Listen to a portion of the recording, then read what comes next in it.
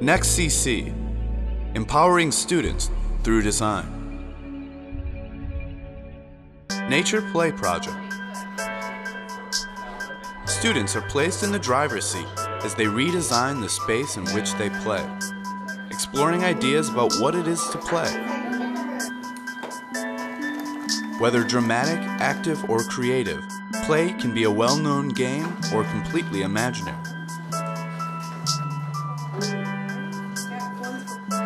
Students use word webs, site maps, and site programming to become aware of where they are. They tell the time from sun and shadows. Planning active and passive, open and intimate, wet and dry areas connected by paths and destination points.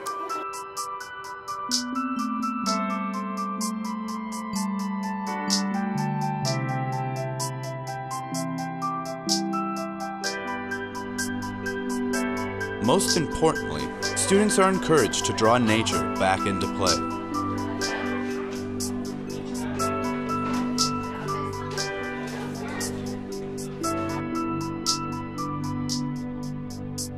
As always, students and teachers retain free access to our e-learning resource.